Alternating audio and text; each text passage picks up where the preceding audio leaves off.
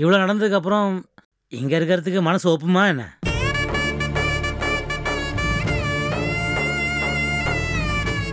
பாரதி நீ ரொம்ப பொறுமைசாலி. நீயே இப்படி ஒரு முடிவு எடுக்கலாமா?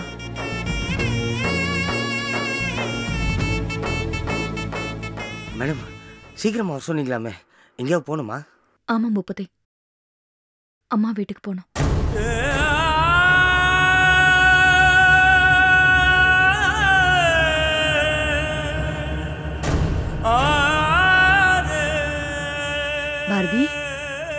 வீட்டுக்கு போறதுன்னு முடிவே எடுத்துட்டியா?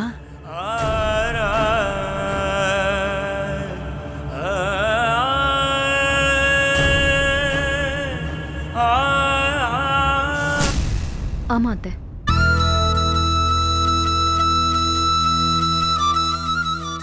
பாரதி நீ புத்திசாலி பொண்ணு.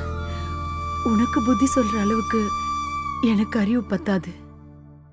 இருந்தாலும் எனக்காக இன்னொரு முறை யோசிச்சு முடிவெடுக்க கூடாதா?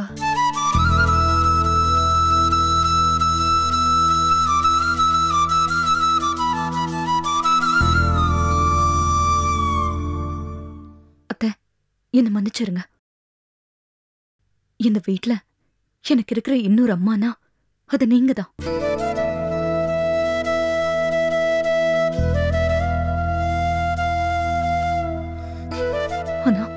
இப்போ இருக்கிற நிலைமையில என்னால இந்த வீட்ல இருக்க முடியுமான்னு தோணல.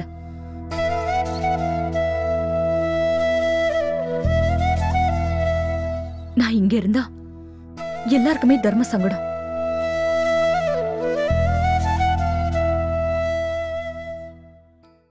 அதான் அம்மா கூட இருக்கலாம்னு நினைக்கிறேன்.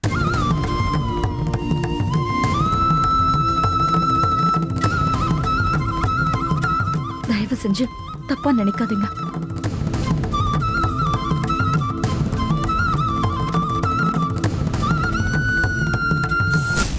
மாமா நீங்களாவது ஒரு வார்த்தை சொல்லுங்க மாமா. இப்போ சைலண்டாக இருந்தால் சரியாக இருக்காது. ஏமா பாரதி நீ பாட்டுக்கு இப்படி ஒரு முடிவு எடுத்துட்டா எப்படிம்மா? நீ இல்லைனா சந்தோஷ் இன்னும் கெட்டு சீரழிஞ்சு தான் போவான். அதை கொஞ்சம் யோசிச்சு பார்த்தியா நான் இருந்தா மட்டும் நல்லவரா இருப்பாரா மாமா? சரி விடு. சந்தோஷ் எப்படியோ கெட்டு சீரழிஞ்சு போறானே வச்சுக்கோ. ஆனால் பாவம் அண்ணன் நிலைமையை யோசிச்சு பார்த்தியா ஏற்கனவே அவர் சந்தோஷ் பண்ணதை நினச்சி மனசு ரொம்ப வேதனைப்பட்டு இருக்காரு இப்போ நீயும் விட்டு விட்டு போயிட்டேன்னா பாவமா அவரு? ரொம்ப வெக்ஸ் ஆயிடுவாரு. அதுக்காகவாவது கொஞ்சம் டிசிஷனை மாற்றிக்கோயேன் நீங்கள் என்னென்ன சொல்கிறீங்க வேணாம்ப்பா. அவளை யாரும் தடுக்காதீங்க.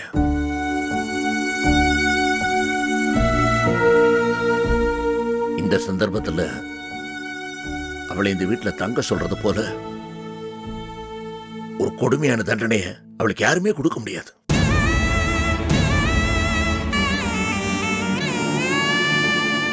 தப்பு பண்ணது நானும் சந்தோஷம் நட்ராஜா தண்டனை இந்த பெண்ணுக்கா?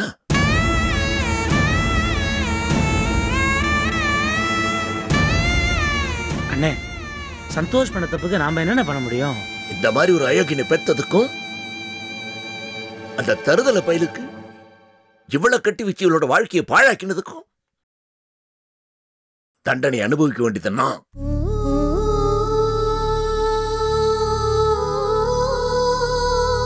இவள் இல்ல. அவளை போக விடுங்க.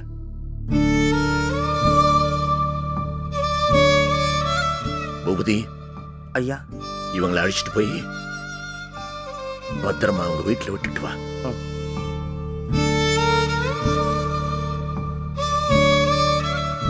டேய் வண்டி குலுங்காம ஜாக்கிரதையா போகணும்.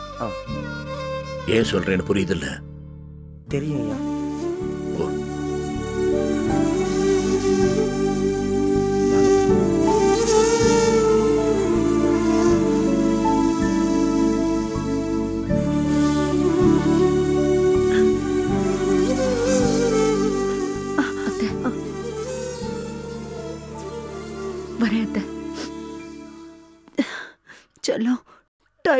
சாப்பிடணும். காலையில் கொம்பிட்டு தான் செய்யும். அது தப்பு இல்லடா நீ போ நான் மாங்காய் ஊறுக்காய் போட்டு அங்கே எடுத்துட்டு வந்து தரேன். அது தொட்டு சாப்பிட்டா வாந்தி வர்றது குறையும். உன்னையும் பிள்ளையும் நீ தாண்டா பாத்துக்கணும்.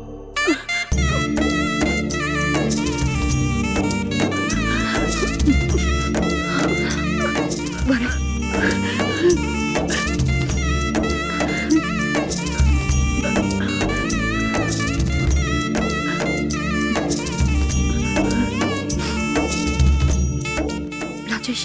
அண்ணி நான் நான் போயிட்டு வரேன். வருவீங்களா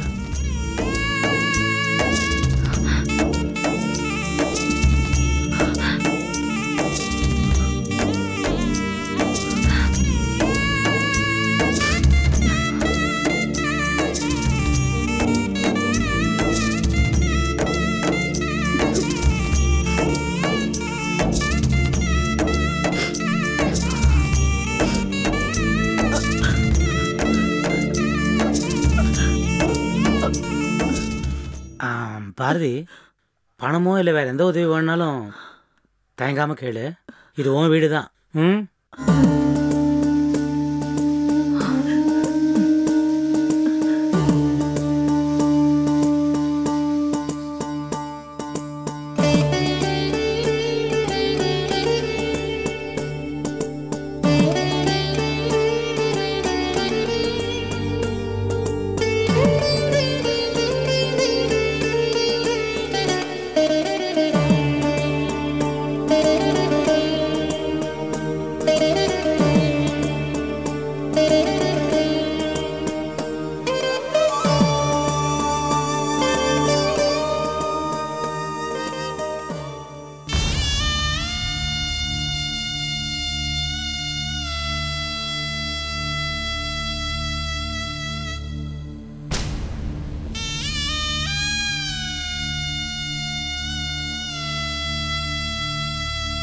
啊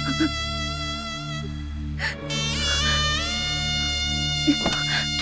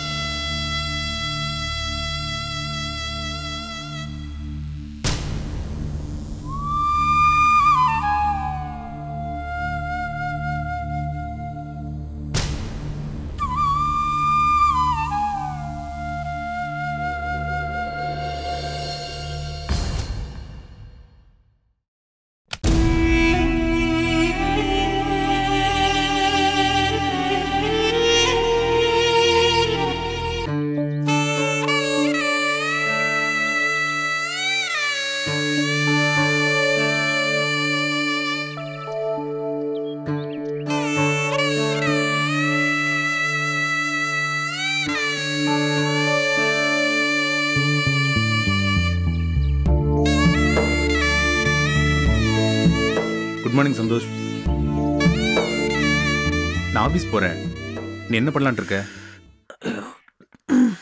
தெரிலடா. இப்பா. எனக்கு என்ன பண்ணுறதுனே தெரில. மைண்டில் ஒரு மாதிரி பிளாங்காக இருக்கு. ம், டேய் நேற்று பண்ண மாதிரி பைத்தியகாரத்தனமாக எதுவும் பண்ண மாட்டியே? ரொம்ப கஷ்டப்படுத்திட்டேண்ணா நல்ல வேளை. அந்த கோலத்தில் நீ பாரதி கண்ணில் படலை. பட்டிருந்த உன் மேலே இருக்கிற கொஞ்ச நெஞ்ச மரியாதையும் போயிருக்கும். அது இல்லைடா. ரொம்ப ஒரு மாதிரி எமோஷனாக இருந்தேன். பேசுகிறதுக்கு கூட ஆள் இல்லை. திடீர்னு இந்த உலகத்தில் எனக்கு யாருமே இல்லைன்னு ஒரு அனாதை ஆயிட்டமோன்னு ஒரு ஒரு ஃபீல் வந்துருச்சுடா. இந்த உலகத்தில் யாருமே அனாதை இல்லை. அதை விட்டு தள்ளு சந்தோஷ். நீ எப்படிடா இப்படி இருக்க? ரொம்ப நல்லவனா இருக்கடா. உனக்கு நான் எவ்வளோ துரோகம் பண்ணியிருக்கேன் எவ்வளோ கெடுதல் பண்ணியிருக்கேன். டேய் துரோகம் பண்ணுறவனை மன்னிக்கிறது கூட பெருசு இல்லைடா. ஆனால் துரோகம் பண்ணனுக்கு உதவுற பத்தியா?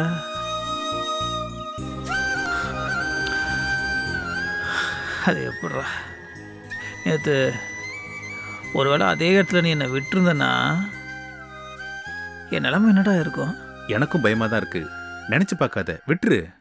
நீ பண்ண ஹெல்ப்புக்காக தேங்க்ஸ்னு ஒரே வார்த்தை சொல்லி முடிச்சிட முடியாதுடா. ஆனால் இப்போ என்னால் தேங்க்ஸ் மட்டும்தான்டா சொல்ல முடியும். வேற ஒன்றும் பண்ண முடியாதுடா. இதை பாரு எதையும் எதிர்பார்த்து நான் பண்ணல சந்தோஷ். நேற்று அந்த நிலைமையில உன்னை விட்டுட்டு போயிருந்து உனக்கு ஏதாவது ஒன்று ஆயிருந்தா அதுக்கப்புறம் என்னால் நிம்மதியாக வாழ முடியாதுடா. மனசாட்சிக்கு பயந்து தான் உன்னை கூட்டிகிட்டு வந்தேன்னு நினச்சிக்க. சரி அதை விடு. உன் விஷயத்தில் இப்ப நீ என்ன பண்றதா இருக்க? அதை சொல்லு முதல்ல. தெரியலையே.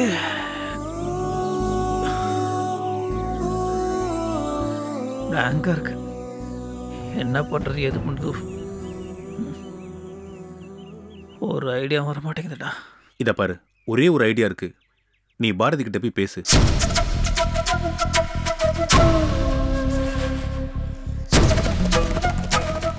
என்னடா அப்படி பாக்குற? பாரதியோட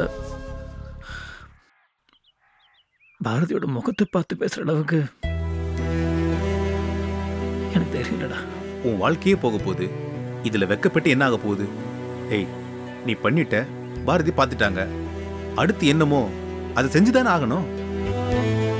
நேத்து நீ நடந்ததை சொன்னப்ப அதுல ஒரு நெஜம் இருந்துச்சுடா. அந்த அளவுக்கு நெஜ மாதிரியே பொய் சொல்லணும்னா ஒரு நல்ல நடிகனால தான் முடியும். என்னாலேயே கண்டுபிடிக்க முடிஞ்ச உண்மைய பாரதி நிச்சயம் கண்டுபிடிப்பாங்க. ஓ பேசு. எப்படிடா பாரதிக்கு என் மேல நம்பிக்கை இருந்தா தானே? என்ன அவகிட்ட பேசுறதுக்கே அவள் அலோவ் பண்ணுவா? பாரதி மட்டும் இல்ல உன்னை அந்த குளத்துல பார்த்த யாருமே உன்னை நம்ப மாட்டாங்க. எல்லாருமே உன் மேல கோவமா தான் இருப்பாங்க. ஆனா பாரதி மத்தவங்க மாதிரி இல்ல உன்னை புரிஞ்சுப்பாங்க. போ வெக்கத்தை விட்டு அவங்க கிட்ட பேசு. அவங்க நம்பணும்னு அவசியம் இல்ல. உன் மனசுல இருக்கிறத கொட்டணும். அவ்வளவுதான். எந்த எதிர்பார்ப்பும் இல்லாம அவங்க கிட்ட பேசு. எல்லாம் நல்லபடியா நடக்கும்டா. போ. என்னடா யோசிக்கிற? இல்ல. பாரதி நான் நம்புற மாதிரி என்னால சொல்ல முடியுமா? தயவு செஞ்சு நம்ப வைக்க முயற்சி பண்ணாத. அப்படி பண்ண உன் மேல சந்தேகம் தான் வரும். ஜஸ்ட் உண்மையை உணர வைக்க முயற்சி பண்ணு. இப்ப இல்லைனாலும் நீ பேசிக்கிட்டே இருந்தா ஒரு நாள் நிச்சயமா உண்மையை உணர்வாங்க. அப்படி உணர்ந்தாங்கன்னா உன் மேல ஒரு மரியாதை வரும். மத்தவங்கள பத்தி கவலைப்படாத சந்தோஷ் பாரதி நம்பணும். அவங்களுக்கு மட்டும் நீ நல்லவன் தெரிஞ்சா போதுண்டா அதுக்கு ஒரே வழி நேத்து நீ என்கிட்ட சொன்ன மாதிரி பாரதி கிட்டையும் எல்லா உண்மையும் சொல்லு. ஒண்ணு விடாம சொல்லு. அழுக வந்து அழு. தப்பு இல்ல. கட்டின பொண்டாட்டிக்கு முன்னாடி அழுதா எந்த தப்பும் இல்ல. எனக்கும் என் ஒய்ஃபுக்கும் பிரச்சனை வந்தப்ப பாரதி சேர்த்து வச்சாங்களே அப்ப எங்களோட அழுகை தான் எங்களை சேர்த்து வச்சது. கிட்டத்தட்ட பாவம் எல்லாம் போன மாதிரி இருந்தது. சொல்ல போனா அந்த சம்பவத்துக்கு அப்புறம் தான் எங்க ரெண்டு பேருக்கு நடுவுல நெருக்கமே அதிகமாச்சு. ஒருத்தர் மேல ஒருத்தருக்கு நம்பிக்கை அதிகமாச்சு. எல்லாத்துக்கும் காரணம் ஈகோ இல்லாம நாங்க ரெண்டு பேரும் அன்னைக்கு அழுதம் பத்தி அதான் காரணம். நீயும் உன்னோட ஈகோவை தள்ளி வச்சுட்டு பாரதியை பார்த்து பேசு. எல்லாம் சரியாகுண்டா கரெக்டா நீ சொல்றது கரெக்டு தான். நான் எந்த தப்பும் செய்யலடா. அப்படி இருக்கும் நான் ஏன் தயங்கணும்? அதுவும் ஏன் பாரதிக்கிட்ட நான் பேசுறதுக்கு? நான் ஏன்டா கூச்சப்படணும்? நான் சொல்லிடுறேன்டா. நடந்த எல்லா உண்மையும் நான் அவகிட்ட சொல்லிடுறேன். அதுக்கப்புறம் அவள் நம்புறாளோ நம்பலையோ அது அவ இஷ்டம். நம்பனா சந்தோஷம். நம்மளனா நம்மளனா பரவாயில்லடா. அட்லீஸ்ட் உண்மையாக அவகிட்ட சொல்லிட்டேன்ற ஒரு ஒரு திருப்தியாக இருக்கும்ல. அது போதும். அந்த நம்பிக்கை வேணும்டா. இதே உற்சாகத்தோட போய் பேசு. பாரதியை உன்னால உணர வைக்க முடியும். Best of luck Santhosh. வா போலாம். என்னடா? இல்லை. ஒய்ஃப் அமைஞ்சதுல சரி நண்பன் அமைஞ்சதுல சரி. நான் ரொம்ப கொடுத்து வச்சவன்டா. தேங்க்ஸ் ஆ. வா கிளம்பலாம்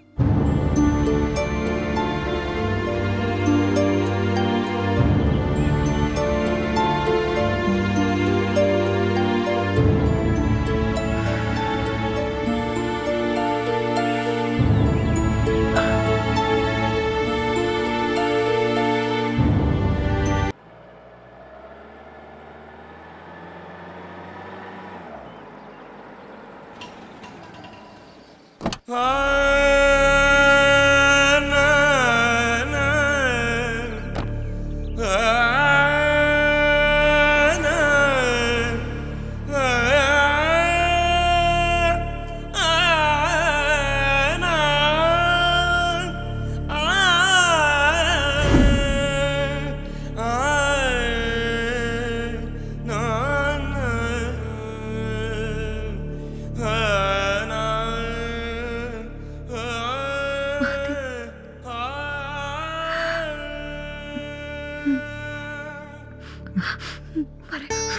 அக்கா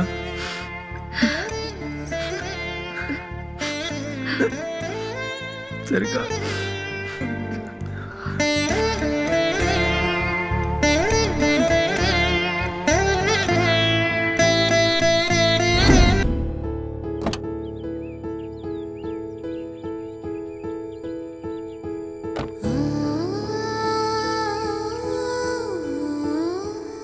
வாங்க மேடம். பூபதி பேக்கை கூட நான் எடுத்துட்டு போய்க்கிறேன். மேடம் பரவாயில்ல மேடம் நான் சொல்றத கேளு. நான் தான் எடுத்துட்டு போய்க்கிறேன்னு சொல்றேன்ல கூட. அது வந்து கூட்டு இந்தாங்க. நீ கிளம்பு. சரிங்க மேடம். மேடம் என்ன பூபதி? ஒரு விஷயம் சொல்லணும்னு தோணுது. அதை சொன்னால் நீங்கள் தப்பாக எடுத்துப்பீங்களோன்னு சொல்லு. நீ எதுவும் தப்பா பேச மாட்டேங்கிற நம்பிக்கை எனக்கு இருக்கு? மேடம் நீங்கள் எடுத்த முடிவு சரிதானா? இப்போ தப்பு மாதிரி தான் தெரியும். ஆனா சரியான முடிவு தான் நான் எடுத்திருக்கேன் பூபதி. மேடம் இது நீங்கள் எமோஷனில் எடுத்த முடிவாக தான் இருக்கும். சந்தோஷ் சாருக்கு நீங்கள் கடைசியாக ஒரு சான்ஸ் கொடுத்து பாருங்களேன். பூபதி நான் மனசுல சில விஷயங்களை நினைச்சிருக்கேன். அதை இப்போ வெளியே சொல்ல முடியாது. எது எப்படி இருந்தாலும் நான் எடுத்த இந்த முடிவுல தப்பு எதுவும் இல்லைன்னு நம்புறேன். அதுக்கான காரணத்தை நீ பின்னால கண்டிப்பா புரிஞ்சுப்ப. நீங்க இல்லாம அந்த வீட்டை நினைச்சு கூட பார்க்க முடியல. நீங்க இல்லாம இனிமே சந்தோஷா எப்படி இருப்பார்னு நினைச்சு கூட பார்க்க முடியல. நீங்க ஒரு முடிவு எடுத்தா அதில் ஒரு காரணம் இருக்கும். யாருக்கும் பாதகமாக இருக்க முடிவை நீங்கள் எடுக்க மாட்டீங்க. இப்போ நீங்கள் என்கிட்ட சொல்லனாலும் என்னால் அதை புரிஞ்சுக்க முடியுது. அந்த நம்பிக்கையில் தான் நான் இப்போ வீட்டுக்கு போகிறேன் மேடம். நான் ஏதாவது தப்பாக பேசியிருந்தா என்னை மன்னிச்சிருங்க. நான் வரேன்.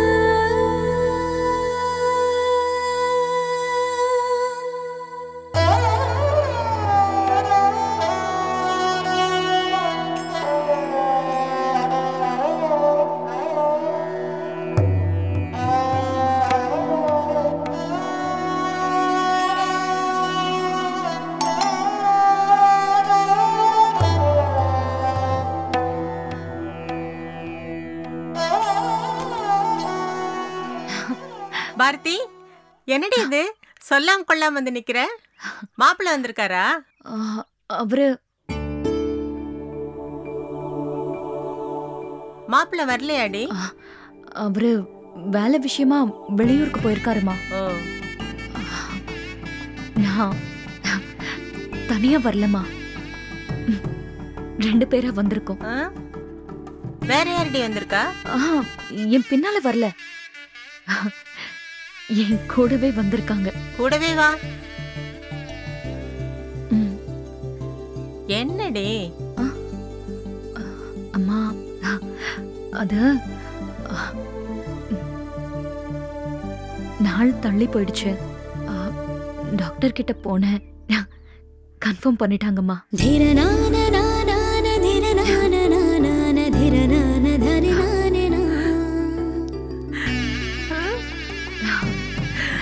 அடி சிரிட்டி மவளே இப்படி அடி வாசல்ல நின்னுட்டு அந்த விஷயத்த சொல்லுவ? இதெல்லாம் முன்கூட்டியே சொல்ல மாட்டியா? நாங்க வந்து தாண்டி உன்னை கூட்டிட்டு வரணும்.